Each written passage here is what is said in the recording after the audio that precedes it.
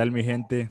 Espero que estén muy bien. Hoy estoy con una persona que me costó un montón conseguirla, pero aquí estamos. Es una chica llamada Rina de El Salvador, de El Salvador, ¿verdad? Sí, sí, sí. Va, el 503. Y ella es skate. Eh, la encontré en Instagram y supe que era una persona súper real, súper dedicada a esto del skate. Y por eso quise entrevistarla para que nos cuente un poco de sus experiencias, por qué lo hace, cómo lo, cómo lo descubrió y todo eso. Entonces vamos a dejar que ella se presente ahí, qué le gusta, qué no te gusta. Eh, si nos quieres decir tu estado civil, casada, soltera. Sí, va. Hola, mi nombre es Rina, Rina Sosa, en las redes sociales Rina Pleu, pero mi apellido es Sosa. Tengo 26 años, eh, me gusta patinar, todo lo que tiene que ver con el arte. Y me dijiste, me, estás civil soltera, bien soltera. Y, ajá. Súper espontáneo. Entonces vamos a hablar un poquito de ella, qué le gusta, qué no le gusta. Em, se nos perdió un poco. Ay, no, lo siento. Ahí está, ahí está. Pues sí. Le damos, le damos, estamos listos, sí, no, hay, no, hay, no, va a haber interferencia. No, ya no, Entonces, va, yo, yo, yo, te quería preguntar así, esta es la típica pregunta que yo les hago a todos, ¿cómo fue que descubriste esto de patinar? ¿Cómo fue que te empezó a gustar y todo eso? Fíjate que realmente desde pequeña crecí en una en un condominio, una colonia donde siempre hacíamos mucho como deporte con mis vecinitos, siempre hacíamos, andamos en patina y bicicleta. Y algunos de ellos tenían patineta a veces y mi hermano también incluso de pequeño le compraron una patineta. Entonces siempre me llamó bastante la atención de todas las cosas que probé, como que me llamaba bastante la atención la patineta. Pero no sabía que se podían hacer trucos, solo era como andar ahí, vea. Entonces, pero de repente, es como yo vivo cerca de un, de un lugar donde se practicaba bastante, un día pasé y vi como un montón de niños haciendo trucos y saltando las gradas y todo y me voló la mente de ahí, fue como yo quiero hacer eso. Y ya después me di cuenta que como yo crecí yendo a la iglesia, habían unos chicos, unos amigos que, viví, que, que patinaban, que iban a la iglesia, entonces eh, les dije que quería aprender y no sé, me empecé a ver más con ellos y una amiga también en ese tiempo dijo, ah, yo también quiero aprender. Así que empezamos a, hicimos una fundación. ¿Una qué? fundación. Una fundación. es que no teníamos dinero para comprar la patineta, ah, sí. nuevas son como bien caras, Entonces... de las eh, buenas, de las buenas. Ajá, entonces dijimos, tenemos que, que conseguir el dinero. Entonces eh, hicimos FACUP, Fundación Ayúdame a comprar una patineta. y andábamos sacando stickers, vendiendo pulseras y logramos ah. sacar nuestra primera patineta. Ah pues, ah, pues, yo también tengo mi asociación, que es lo que yo hago yo para conseguir dinero. Y ahí tengo stickers por si quieren. sí, de eh, verdad funciona. Entonces, ¿a qué edad fue esto que, que empezaste a querer comprar tu patineta? A los 14. Ah, ya. Ya compraste la primera patineta. Chiquita. ¿Y lo lograste? ¿La compraste? Sí, sí, sí, la compramos. No, desde que conocí la patineta que quería, fue es un montón, fue que tenía como 9, 10 años que andaba en bici y todo. Pero ya comprar la patineta que supe que se podían hacer trucos y eso sí, ya fue a los 14 años. Va. Ya, ya tenemos cómo fue que empezaste en esto, pero ahora quiero saber así como eh, ¿A qué te dedicas vos? ¿Sos patinadora las 24 horas o qué haces para sobrevivir? todos tenemos que hacer algo para sobrevivir. me dedico a tratar de, de, algún día vivir 24 horas patinando. como Tony Hawk. Tony Hawk. Rina no, Hawk. Qué No, ahorita estoy, eh, tengo un trabajo medio tiempo en un call center eh, Dios me da la oportunidad, la verdad, de estar en, un, eh, en una cuenta que me permite, o sea, trabajar solo por la mañana y ya por la tarde, noche. Ya. salir a patinar o algunas otras cosas, pero, casi siempre prefiero patinar. Pero es en serio que es patinar todo, todos los días, todo, nomás salir de trabajar, me voy a patinar. Quisiera que si fuera siempre, pero a veces las cosas de la vida no me lo permiten, o sea, a veces tengo cosas que hacer, voy a ver a mi familia o, o a veces que me he lesionado no puedo, no puedo estar patinando por un buen tiempo, entonces no siempre es así, pero ahorita que tengo ese trabajo y tengo un poco más de tiempo, es que he podido dedicarle mucho más tiempo del que alguna vez le dediqué, así que estoy feliz por eso. Sí, yo, a, mí por eso me, me, nació eso de entrevistarte, porque de verdad te lo vivido, de, de verdad tu vida es el skate, de verdad lo disfrutas tanto, no es como yo que me creo skate solo por andar mi tabla aquí todo el día en el brazo y andar caminando en los parques así. Pero, sí, no, la, ver la verdad es que no sé, siempre me gustó como el arte, creo yo desde pequeña siempre me gustó, yo veía, eh, de hecho a mí realmente lo primerito que vi que me enamoré, que yo dije, yo quiero hacer esto cuando estaba chiquita, era como la gimnasia y el ballet, de esas cosas como ver el movimiento del cuerpo, a mí, no sé, me gusta un montón ver la capacidad que, que hay en nuestro cuerpo y, lo bonito que, que, puedes crear, ¿vea? Entonces, siempre me gustó, pero cuando conocí el skate fue todavía más chivo, siento yo, porque aparte de ser arte es extremo, o sea, entonces es como, no sé, la verdad es que sí, me, me enamoré de, del, del, skate. Pero uh, yo sé que te gusta ver eso, del el arte del cuerpo y todo eso, pero también te gusta ver qué tanto aguanta el cuerpo de los golpes y todo eso. Sí, yo creo que sí. Creo que, que, que, sí, he aprendido. algo, algo, extremo, ah, chica, porque, o sea, te caes, te rompes la madre, literal, muchas veces. Yo sé que te ha pasado, más adelante vamos a hablar de eso. Pero ahí, en, por ejemplo, a vos, ¿dónde te gusta patinar? Fíjate que ahorita estoy que quiero como ir a patinar a un montón de lugares en la calle, así como quiero ir a los pueblitos a conocer como spot. Pero ahorita como lo más cerca que tengo es El Salvador del Mundo y, también, y me gusta un montón porque tenés como bastante variedad, pero a mí me pasa que si estoy patinando el mismo lugar seguidito sin conocer nuevos lugares me estanco, siento yo, entonces no estoy como... Ajá, entonces siento que, que, tengo que conocer nuevos lugares, así que si alguien ahí quiere invitarme a patinar a un lugar, ahí llega. yeah, yeah. Yo tengo, un amigo, yo tengo un amigo que le pregunté si, si te conocía y me dijo, yo sí la he visto, pero ella no me conoce a mí, así que le voy a decir que se junten para que te lleve a patinar a la playa. Él, a la playa se va a patinar. Y así. Ah, sí, el Sante, mañana creo que voy a ir al Sante. Pero sí. Entonces siempre estás para arriba y para abajo. Los fines trato porque entre semanas sí me cuesta moverme más, vea, porque por el regreso. Pero, pero sí, ajá, los fines, por ejemplo, hace poco fuimos a Santa Ana con unos amigos, a, a Cincinnati. Entonces estoy como tratando de eso, como conocer otros lugares para poder patinar. Ya, qué buena onda. O sea que tenés tu grupo de, de amigos que patinan.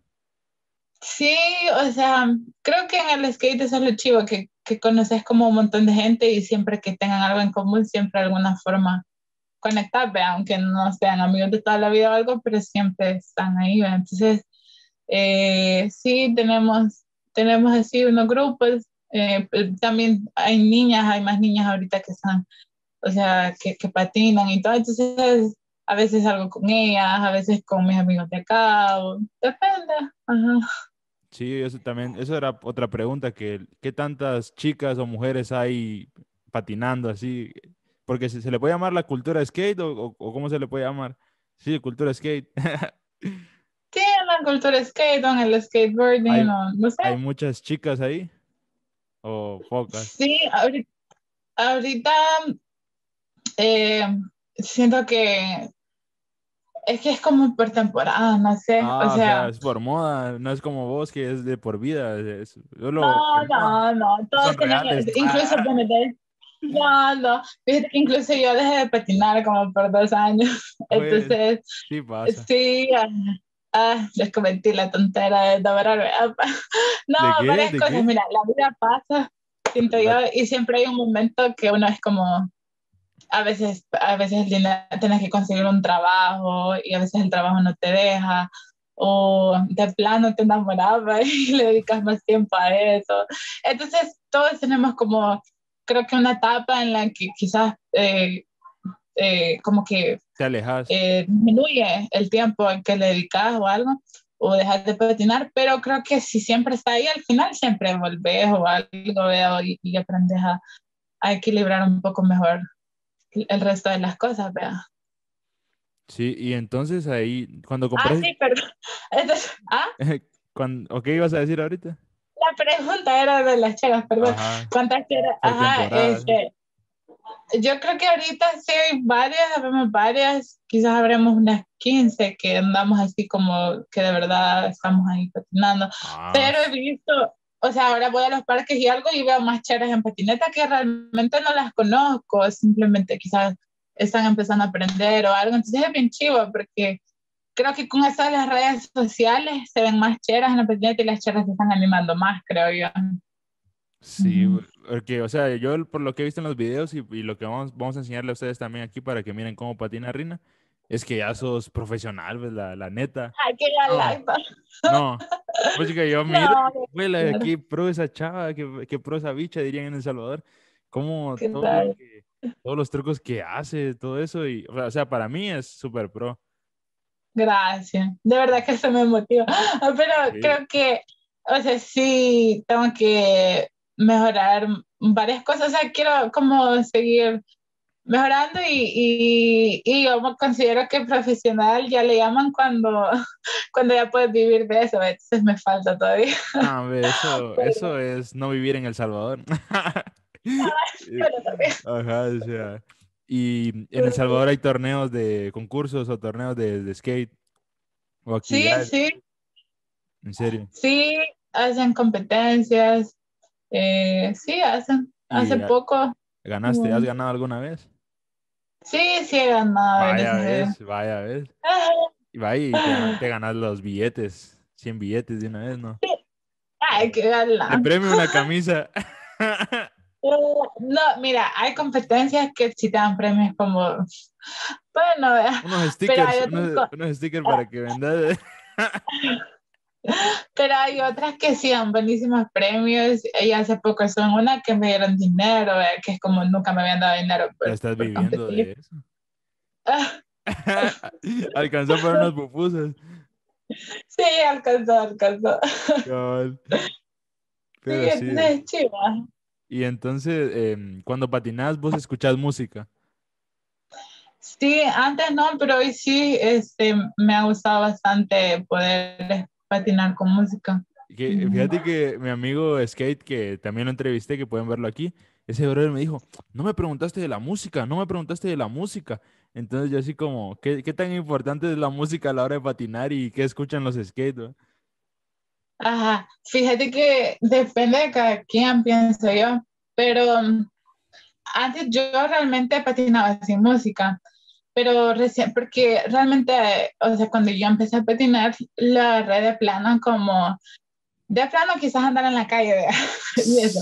Ya cuando regresé el tiempo, ya de, cuando regresé el tiempo que dejé de patinar, aprendí a ver el, el más en la parte del deporte, más en la parte mental del skateboarding, la destreza, y eso me ayudó un montón. Entonces me di cuenta que yo me distraía un montón y que de plano a la hora de hacer los trucos, o sea, no puedes estar pensando en otra cosa, son dos, tres segundos que si tu mente así te distrajiste por un momento, te puede costar una lesión o te puede costar no hacer el truco o algo. Entonces, un amigo que es súper buenísimo que lo admiro, Emma, Emma Figueroa, si lo ves, él me, me, dio esa recomendación porque decía como no sé cómo hacer y él me dijo escucha música, a mí me sirve un montón escuchar música porque no me distraigo con, con lo de alrededor, vean. Y lo hice y de verdad me ha ayudado un montón. Entonces, yo creo que depende de vos, o sea, depende de cada quien porque algunos quizás no se distraen o quizás algunos se distraen con la música, o sea, depende de cada quien, vea, pero a mí la música me ha ayudado a no estar tan pendiente de alrededor y como enfocarme bien en los trucos. Pero, ¿cuál música? ¿Qué música te gusta? es que yo no tengo como un solo tipo. Por eso, pero aquí. Pero algo me ayuda bastante. Yo sé que eso está bien tonto, pero como la música así, como de esas que usan para el ballet, pongo esa playlist. Voy a ir a patinar, voy a poner mi Beethoven ahí para que... Pero, pero me, me ha ayudado. O sea, a veces pongo la música que sale en los videos de skate, digamos que si ando así como con un gran speed, pongo esa música y, y, me ayuda a pensar, vea, a motivarme, porque son los videos que, que he visto de, de, skate. Puede ser indie a veces, a veces me gusta también como el hip hop o algo así, no sé, me gusta. Cuando quiero andar como acelerada, pero cuando ando demasiado acelerada y no me puedo como tranquilizar, me sirve esta música como clásica, como a, a calmarme, a pensar bien los trucos y eso. Y, y esa pongo no me sale un truco, voy a poner música clásica para que me salga, decís. sí, para concentrarme mejor. Está bueno, me llega. Y lo mencionaste al hip hop. El hip, el hip hop está muy ligado con el skate, o por lo menos en lo que yo he podido ver. En un evento de hip hop, ahí andan los skate patinando, molestando. Eh, ¿Vos no has ido mucho a esos eventos de rap, breakdance, beatbox, todas esas cosas, graffiti? Sí, fíjate que cuando me han invitado, yo, a mí me gusta ir y eso. Entonces, eh, sí, está bien ligado, tienes razón. Y creo que tiene que ver también como los estilos de vida, son muy como similares, las vivencias y todo. Las letras de las canciones siento que también te, te motivan un montón y te, como que lo sentís, la vivís, vea. Entonces, eh, sí, digamos, a veces aquí hay eventos de la juventud y casi siempre como el hip hop, el graffiti, todo está cerca del eso. Entonces, sí siento que está, puede estar ligado a cierto punto. ¿Conoces algún, algún rapero del Salvador?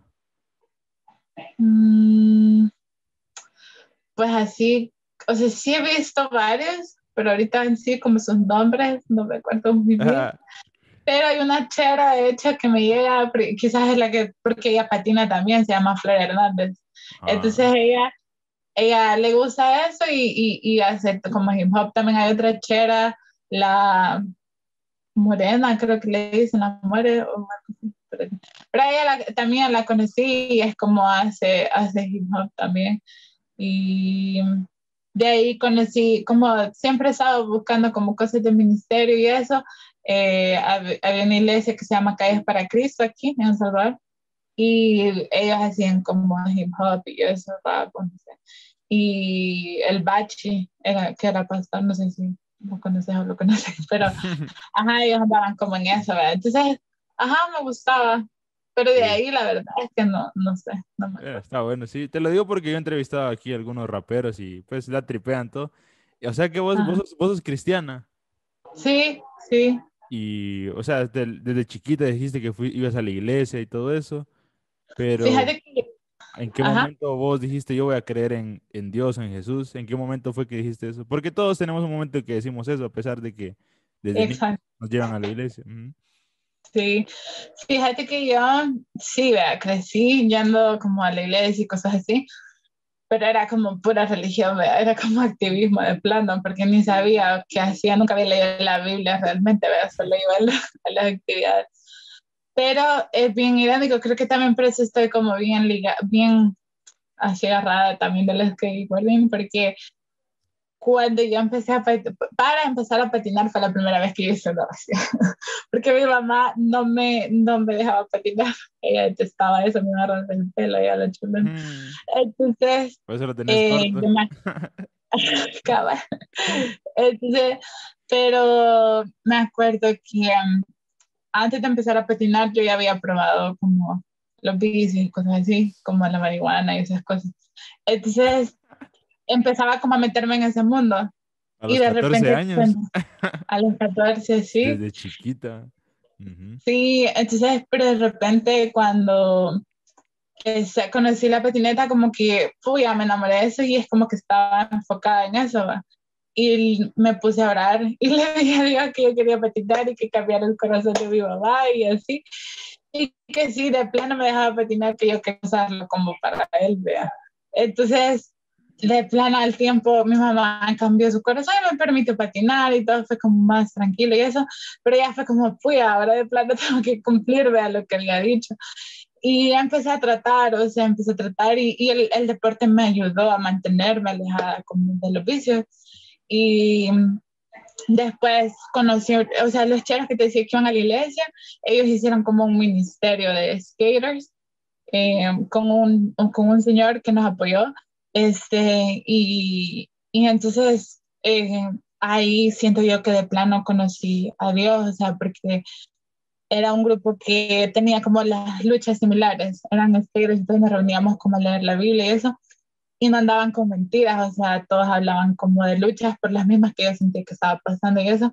Entonces ahí de plano yo siento que, que decidí seguir a Cristo, o sea, ahí decidí, vi a Dios realmente, o sea, empecé a leer la Biblia y conocí lo que era realmente. Siempre hay luchas y todo, pero, pero Te estaban llamando. No, no, se trabó, no sé si fue Ya, ya, ya se, ya está, ya se arregló. Sí, te trabaste un poquito, sí, es, pero sí, se escuchó ahí de que decías que, pues, eso me llega que estabas con gente real, va, que hablaba, me siento mal por esto, me afecta esto, y eso es lo que muchas veces, yo soy cristiano también, y eso es lo que muchas veces hay, hay problemas en las iglesias, porque en las iglesias todos llegamos con que todos somos perfectos, todos somos, no tenemos problemas. Entonces ahí se crean como, como religioso, pues, no, yo estoy perfecto, pero por dentro me estoy muriendo. Puede ser así, ¿va? Ajá, y entonces como que uno ya no se siente muy identificado y muchas veces uno puede decir, no, hombre, entonces eso el cristianismo no es para mí, ¿verdad? porque de plano yo no puedo ser así de perfecto, entonces mejor ya no voy. Y así es como un montón de veces uno termina como alejándose. Mientras que cuando estás en una comunidad de personas que, que pueden hablar de sus luchas y ver lo que Dios dice al respecto por sus luchas, entonces es más fácil, creo. Me llega, me llega, me llega, me llega, que, me llega que penses así, de esa forma, y que el skate y, y, el cristianismo los mezclaste y que pues sacaste una muy buena mezcla de eso, ¿verdad? Y volviendo un poco a, a lo que es el mero skate, ¿va?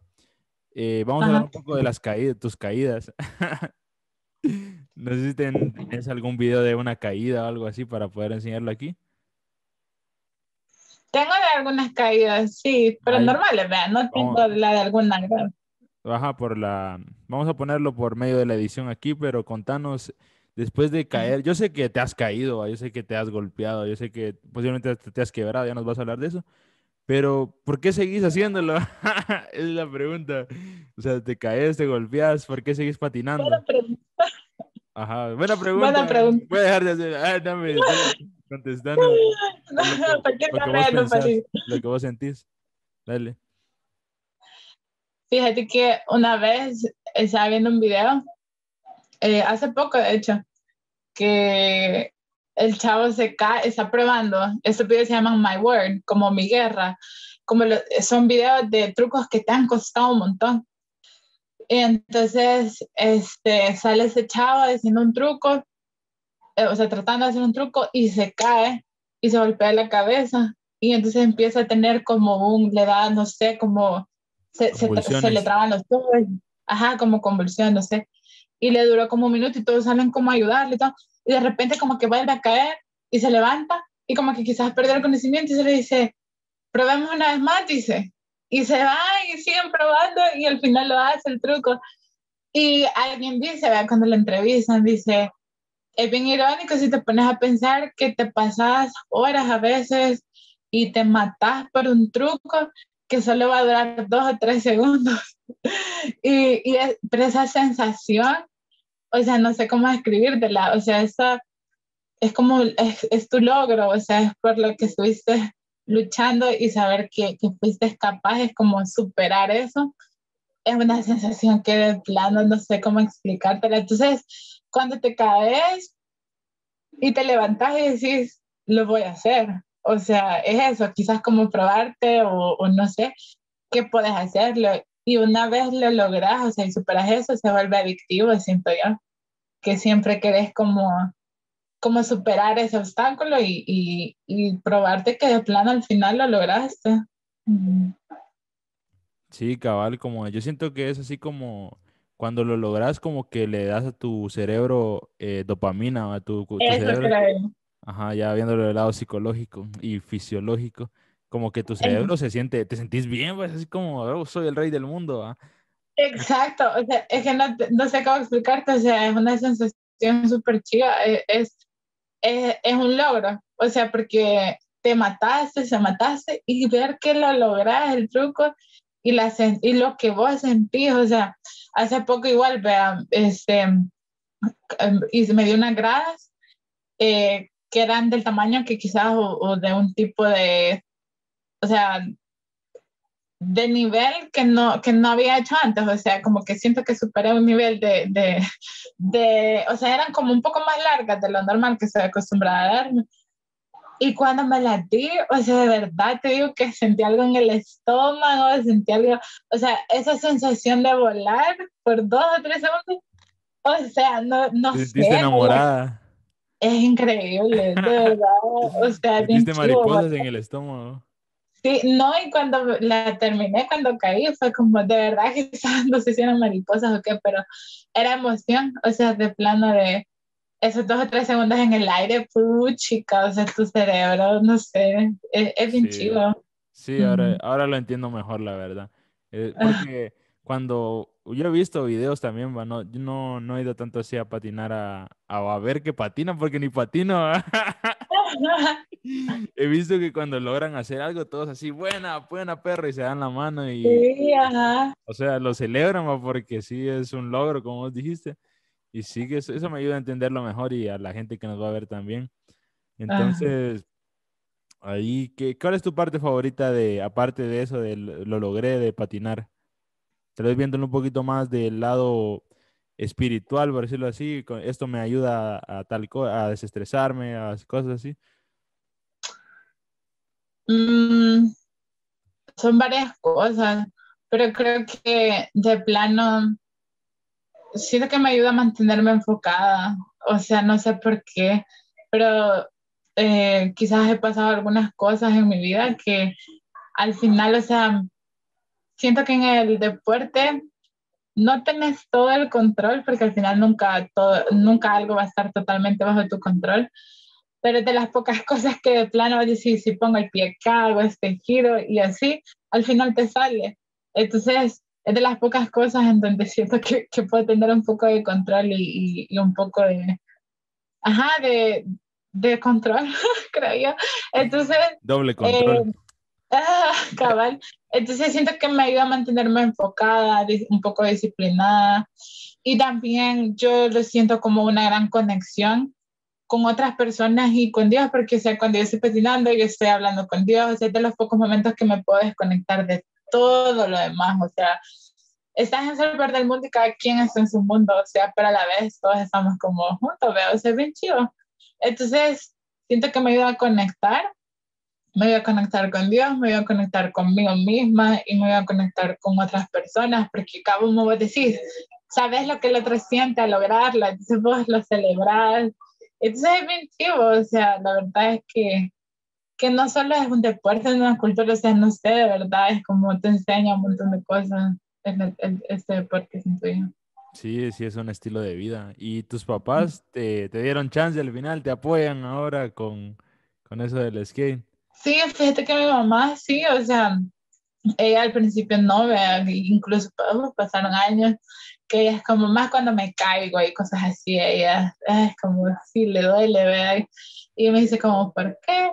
Pero de último, o sea, hace poco incluso ella estuvo para unas competencias conmigo, me apoyó un montón, o sea, y de verdad que, que es súper chivo, ajá, sentir el apoyo de ella, de eso.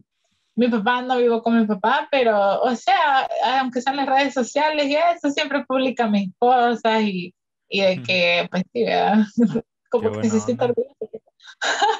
¿Y cómo se llama? ¿Sí te has quebrado algo?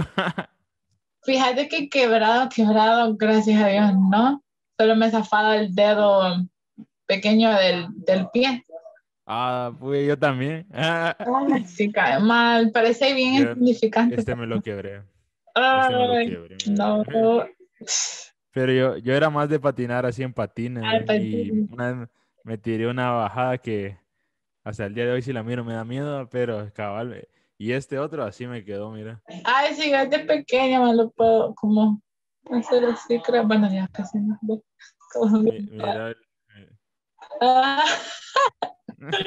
sí, sí. Pero sí, bueno, eso es una gran onda. Y a mí por eso me ha interesado un montón. Ya sos la segunda persona que patina que entrevisto y voy a ver si entrevista más gente. Porque sí, me, me tripea un montón, va. Y, y lo, yo lo que pretendo con estas entrevistas es comunicar a la gente, va. Como eso que, que acabamos de hablar, va, de que se siente, va, ese, ese éxtasis de hacer un truco, va, que la gente lo entienda, porque muchas, mira los skate y hay, hay, hay una discriminación de los Irresponsables. Ajá, vagos, drogadictos. O sea, son, son, los, son los que muchas veces tildan a los skate, ¿va? En las iglesias también se, se, tildan. O sea, tantas cosas, ¿va? Y, pues ahorita hemos hablado varias cosas y todas son positivas, ¿va? No hay, no hay ninguna negativa, no, no me has dicho que, que robaste para comprarte una patineta, no, cosas así, ¿va? No, todavía no he llegado. todavía no llegas de nivel, pero sí. Sí, entonces, eh, no sé, hay unas, vamos cerrando, hay unas últimas palabras que querrás decirle a la, a la gente que nos va a tripear ahí, porque también a tus amigos, porque espero que se las compartas para que ellos también la tripeen y todo. Sí, sí.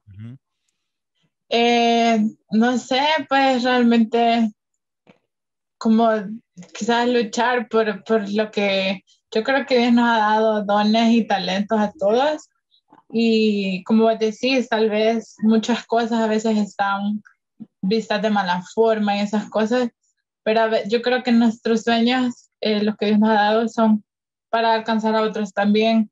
Entonces, y como para mejorar no solo nuestra vida, porque la verdad es que te da un propósito, sino que también la vida de otros. Entonces, eh, quizás hablándole más a, a la gente de El Salvador y como países que a veces es bien difícil vivir de lo que realmente amas, quizás animarlos a que, aunque, aunque cueste, pues intentarlo, o sea, más vale intentarlo, ¿vea?